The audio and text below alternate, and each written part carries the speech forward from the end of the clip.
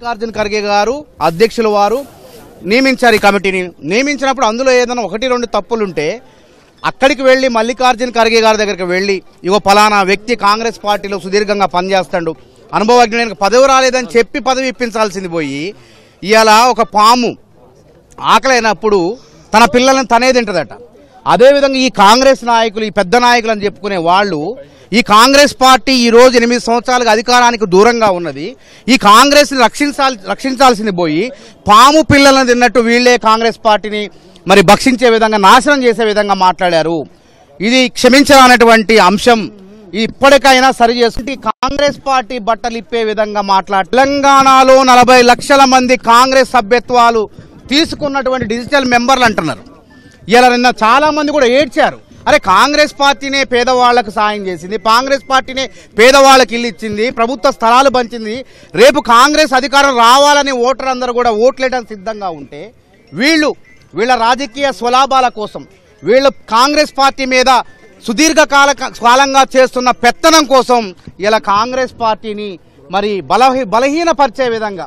కాంగ్రెస్ అధ్యక్షుడు అంటే ఎవరున్నా సరే రేపొద్దున వాళ్ళల్లో ఎవరో ఒకళ్ళు అధ్యక్షుడు అవుతారు అవి మేము గౌరవించవద్దా సోనియా గాంధీ గారు ప్రతినిధి మల్లికార్జున్ ఖర్గే గారు ప్రతినిధి ఎవరున్నా సరే పిసిసి పార్టీ అంటే మేము నేను ఇరవై మూడు సంవత్సరాలుగా పనిచేస్తాను నేను సీనియరే. ఒక్కోసారి పదవులు అనేవి వస్తుంటాయి పోతుంటాయి రాక రాకపోవచ్చు. రానంత మాత్రాన రానంత మాత్రాన అలగటం ఏంది?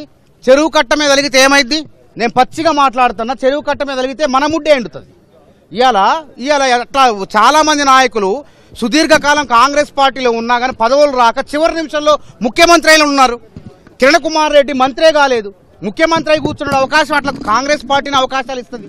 అంటే ఓపిక లేకుండా ఏదో జరిగిపోతున్నట్టు బీఆర్ఎస్ పార్టీ మీద కేసీఆర్ ఇవాళ తెలంగాణ ఆగం చేసి అమరవీరుల త్యాగాలని త్యాగాల్ని బలిదానాల్ని కించపరుచుకుంటూ ఢిల్లీలో కూర్చుంటే దాని మీద మాట్లాడకుండా కాంగ్రెస్ పార్టీనే ఈరోజు ప్రజాక్షేత్రంలో ప్రజలపై పోరాటం చేస్తుంటే రేవంత్ రెడ్డి గారి నాయకత్వంలో. రేవంత్ రెడ్డి గారిని వలసవాద్ అంటమేంది? ముందు ఎవడైతే వలసవాద్ అన్నాడో ఆ మాటను ఉపసంహరించుకోవాలా? కాంగ్రెస్ అంటే మీద ఒక్కళ్ళ జాగిరే కాదు. మేము ఇరవై మూడు సంవత్సరాల కాంగ్రెస్ పార్టీలో విద్యార్థి విభాగం నుంచి మేము పనిచేస్తున్నాం. మాకు ఎటువంటి రాజకీయ పదవులు రాకున్నా సరే కాంగ్రెస్ పార్టీ అధికారం రావాలి. పది మందికి పేదలకు న్యాయం చేయాలని చెప్పి మేము పోట్లాడుతుంటే ఇవాళ ఇవాళ ఏసీ గదుల్లో కూర్చొని పదవులు అనుభవించాల్సిన అనుభ- అనుభవించేసి మరి ఎవరు మిమ్మల్ని ప్రలోభ పెడుతున్నారు? ఎవరు మిమ్మల్ని ముందుకు నెడుతున్నారు కాంగ్రెస్ పార్టీని బలహీనపరచడం కోసం? ఇలా కాంగ్రెస్ కార్యకర్త నా యొక్క ఆవేదనే కాదు ప్రతి కాంగ్రెస్ కార్యకర్త కూడా నిన్న పార్టీని కించపరిచే విధంగా రేవంత్ రెడ్డి గారిని అవమానకరంగా అయినా రాహుల్ గాంధీ గారు వ్యాఖ్యలు మర్చిపోయారా? ఇదే వేదికలో రాహుల్ గాంధీ ఏమన్నాడు? కాంగ్రెస్ పార్టీలో ఎవరైనా చేరితే చేరిన దగ్గర నుంచి అంతా సమానమే అని చెప్పి రాహుల్ గాంధీ గారు అన్నారు. ఇంకో మాట కూడా అన్నారు. ఏ విషయమైనా సరే మీడియాలకు ఎక్కొద్దు పత్రికలకు ఎక్కొద్దు అని రాహుల్ గాంధీ గారు స్పష్టంగా చెప్తే రాహుల్ గాంధీ గారు ఆదేశాలను ఉల్లంఘించి ఏదో కొంపలన్నీ ఆరిపోయినట్టు ఇలా ఇలా వాస్తవంగా వచ్చిన కమిటీలో కర్ణాటక మర్మం ఉన్నది కుట్ర ఉన్నది.